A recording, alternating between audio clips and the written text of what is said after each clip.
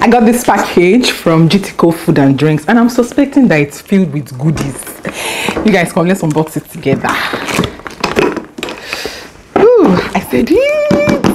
Had in the box was a complete and typical ingredient for ayamase sauce and ofada rice. And I'm sure you're already thinking that chef is going to throw it down and make one nice sauce. There is a plot twist. Watch to the end to see what I made and how I made it. These are more are what you'll be enjoying when you attend the GTCO Food and Drink Festival happening on the 29th of April, 30th of April, and 1st of May. Details in my caption. By the way, I'm going to be giving four of you this full box, the box filled with these ingredients for free courtesy of GTCO. All you just need to do is to follow the instructions in my caption. So guys, guess what I'm making? I'm making an ofada concoction rice. Yes, it is so different and so nice. So what I did was instead of making the sauce, I decided to mix everything together and guys, it came out so yummy. Oh my goodness, it was so tasty. You can tell from my reaction, right?